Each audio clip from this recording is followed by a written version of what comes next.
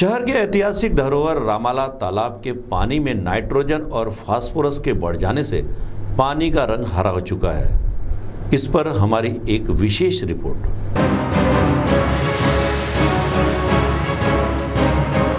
पिछले तीन चार दिनों से सिर्फ़ ज़िले में ही नहीं, अपितु पूरे राज्य भर में चर्चा का विषय बना गढ़चांदुर का अमल नाला, जिसका संपूर्ण जल हरा हो गया। इस संबंध में जानकारी लगभग सभी प्रचार प्रसार माध्यम द्वारा दी गई। हमारी सीटीवी न्यूज़ हर कदम खबर की ओर ने भी मौके पर जाकर हर स्थिति से जनता को रूबरू किया।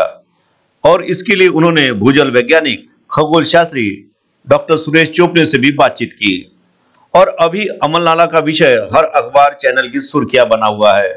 अब ये विषय चल ही रहा है कि सीटीवी न्यूज़ के प्रतिनिधि राजू अलोने की निगाहें हमारे ज़िले के एक और ऐतिहासिक धरोहर रामला तालाब की ओर गई, जिसका भी पानी पूरी तरह से हरा दिखाई दे रहा है।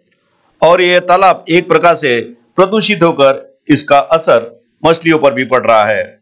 बहुत सारी मछलियाँ मृत पाई जा रही हैं।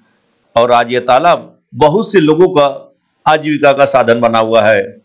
अब सामाजिक संगठन के लोग इसे साफ़ सफ़ाई के लिए आगे आ रहे हैं।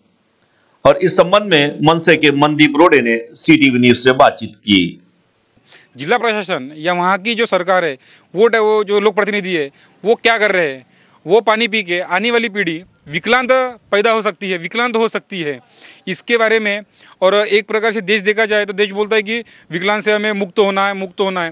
तो ऐसी जगह अगर पानी अगर ऐसी दूषित अगर हरा पानी दिया जाएगा तो साजिक बात है कि हर किसी की प्रकृति खराब होगी, हर कोई बीमार रहेगा, डॉक्टर की तरफ़ जाते रहे। अगर जिला प्रशासन आने वाले दिनों में अगर कड़क कार्रवाई नहीं करती है तो महाराष्ट्र नवनिर्माण सेना चंद्रपुर जिला कलेक्टर ऑफ़िस में, जिला प्रशासन के ऑफ़िस में पानी फेंक आंदोलन करेगी। इतनी चेतावनी मन से द्वारा देता हूँ। इसमें प्रशासन के साथ ही जनता का भी सहयोग अपेक्षित है, हमारी ऐतिहासिक धरोहर को बचाने के लिए, साफ़ सुथरा रखने के लिए।